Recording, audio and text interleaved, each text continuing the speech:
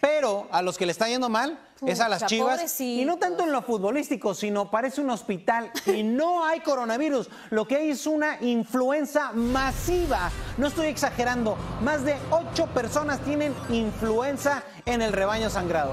Sí, la verdad que es triste porque recordemos que esto hasta el momento solo les han reportado que solo les hicieron el- la prueba para ver el, el flu, el common flu que, ten- que, que ya es de todos los años durante esta fecha.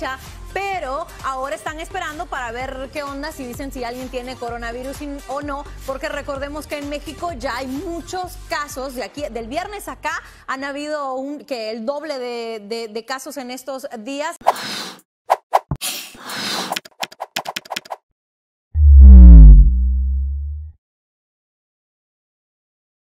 Ya que nos encontraste, no nos pierdas. Suscríbete a nuestro canal de YouTube de Telemundo Deportes.